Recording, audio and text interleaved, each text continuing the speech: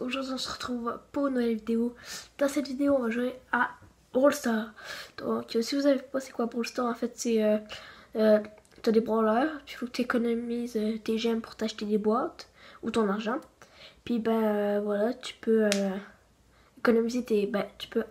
À, chaque fois que tu fais des games tu peux avoir des trophées. Puis t'avancer dans tes niveaux pour avoir d'autres brawlers que tu peux gagner grâce au trophée. Sinon tu gagnes grâce au, euh, au box. Et puis, bah, c'est à ça que je vais jouer aujourd'hui. Donc, euh, bonne vidéo